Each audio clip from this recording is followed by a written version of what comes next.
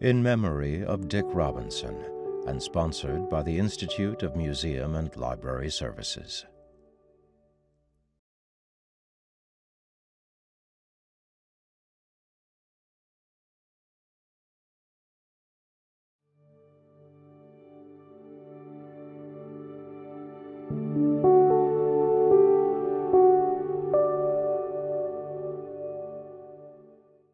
Hi, everybody. I'm Representative Sharice Davids from the Kansas 3rd District.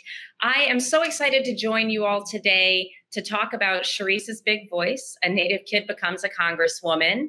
Uh, we just we just put this book out. I'm so excited about being able to participate in the National Book Festival and to have a good conversation with you today. To be honest, when, when I was young, I don't know that I really connected with any books um, in that way. I, I don't I don't remember reading books that kind of changed changed my life or my view of the world necessarily when I was younger. And you know that could be because I uh, I didn't see characters that I that characters that I connected with, and um, you know only one percent of characters in all the books uh, have any native uh, native characters, and um, that's like a pretty big thing to think about. And so I hope that um, that we'll get to see more and more books with lots of different kinds of characters, with lots of different kinds of experiences. And when you when you see the when you see Sharice's big voice, I hope that's one of the things that you notice. When I think about how Sharice's big voice might be able to uh, open a new world or or new experiences to others. I I hope that people, uh, kids or anybody who reads the book, can see that all of us have our own path, our own journey, and that one of the most important things we can do is to be true to ourselves and to our own journey that we're on and.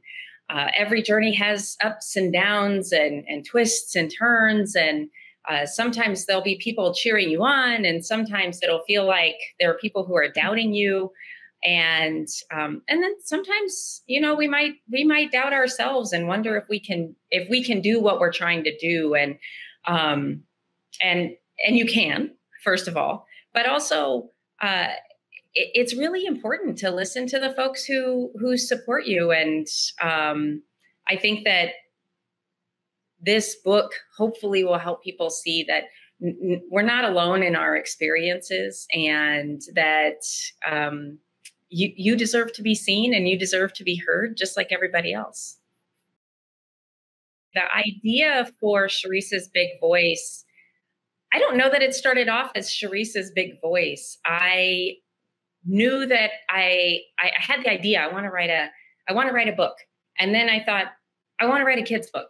And some of the reason that I thought about that is because we we have so many different uh, people in our country and uh, people with different experiences. And sometimes we don't get to hear sometimes we don't get to hear all of those stories. And um, you know of course i you know i got to be one of the first two native american women ever elected to congress. And um, that's a, a really awesome uh, uh, thing that I got to do. But there were so many other things that I did before that. And I think that we went through this process where it was trying to decide what stories to share with people. And um, sometimes it seems like we only hear the um, the end result. And it's important to know that when I was a kid, I talked a lot. I still talk a lot. But when I was a kid, I talked a lot. I got in trouble in school sometimes for talking a lot. And um, it turns out that that ended up being one of my bigger strengths. And um, it also helped me learn how to listen to people because uh, other people want to talk too. And it's really helpful to listen. And so um, the process was, it kind of took longer than I thought it would because uh, we all have lots of stories and trying to figure out which ones were the most fun to share what were the important details that people needed to know about me uh, and my journey like i don't like onions on my pizza I still don't like onions on my pizza. Um, those are the kinds of things that it was it was fun, but it also took a long time. And then and then we got to look for an, an illustrator. So uh, Joshua, our illustrator, is uh, First Nations from Canada and has an Ojibwe woodlands uh, art style, and and he just brings the story to life with the color and um, and the characters that he um, that that he drew, and it was I mean it was such an amazing process to go through and see the words that uh, to the stories that we were telling, but to watch them come to life on the page uh, was pretty phenomenal. When I was young, I was actually really I, I wasn't a big reader and I wasn't a big writer. And I remember uh, feeling kind of scared about writing when I was younger, when I was in school and and I was scared of writing something that that wasn't good. And um it's interesting to to see how now I I feel like I have to write a lot, but I'm not scared of it anymore the way that I used to be. And that's probably part of how uh, how I was able to go from as a young person being scared of writing to now uh, to now being an author.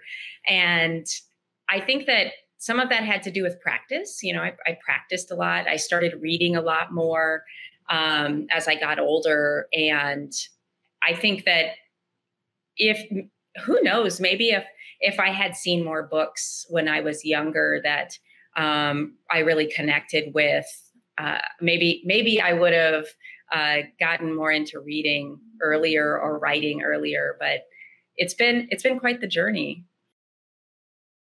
When I think about what inspired me to public service, it's got to be my my mom and and so many people in my family. But you know, I, I grew up, uh, my mom raised my brothers, and I have two little brothers. Uh, she raised the three of us by herself, and, and she was in the army from before I was born until after I got out of high school. And seeing my mom working hard, um, you know, raising us and and and serving our country as uh, you know in the army was it just it was so formative for me. And i think that her influence and her commitment um, to service because after she got out of the army she went and worked at the post office and so my mom has basically spent her entire career as a public servant and getting the chance to see that was i'm i'm absolutely sure of it was pivotal in my uh, decision to want to go into public service and um, and to recognize that you know we get to have an impact on uh, how on how things in our country work. And so i've always felt really like fortunate that we get to do that i was inspired to write my my story for a couple of reasons one is i think a lot of us know what it's like to sometimes feel small or maybe feel invisible or just feel not heard. And I think that when when I was deciding what stories to share and, and what parts of my journey uh, to share, I, I wanted to make sure to to share the things that that felt really important for me, like recognizing that when I was a when I was a kid, I, I talked a lot. Um, and I got in trouble in school and I had to learn how to listen. And sometimes it would feel like something was wrong with me. But there wasn't something wrong with me. I just needed to learn. Uh, I just needed to learn some new skills and and that sort of thing, and learn to to recognize that I'm I'm unique in my own way, and that's okay. Um, and then, you know, I also wanted to make sure that people, whoever reads it, kids, your parents, your grandparents, um, that that you see that all of our all of our paths are different, and no matter what, that that you deserve to be heard, you deserve to be seen, and that um, that you're you're not alone in some of these things. When I think about using your big voice to fight for your beliefs, I know that I know that we grow up learning what's right, what's fair, what feels good, what doesn't feel so good. Um, and I think sometimes we we just have to we just have to hear it from the people who care about us um, and that we care about that you know you you get you get to decide what you're going to do with your life and sometimes for some people it's going to be um, you know being a writer. Some people probably want to be magicians. Some people want to be singers. And you you get to decide what's going to make you like thrive and get excited and and do what you do what you love doing. And if you use your big voice to fight for your beliefs uh, it'll feel like that. It'll feel like like how it feels when you when you wake up and you're ready. And i just i'm excited for i'm excited for uh, all the young people that i get to meet so often. Uh, you guys are going to do some really cool things and I'm, I'm excited to watch how all of you use your big voices thanks everybody for uh, taking the time to join me to talk about Sharice's Big Voice, a Native kid becomes a Congresswoman. I am so glad I got a chance to participate in the National Book Festival this year. I know these things have looked different over the last year or so, but I'm I'm really really glad that we still get the chance to connect and I'm looking forward to seeing you all.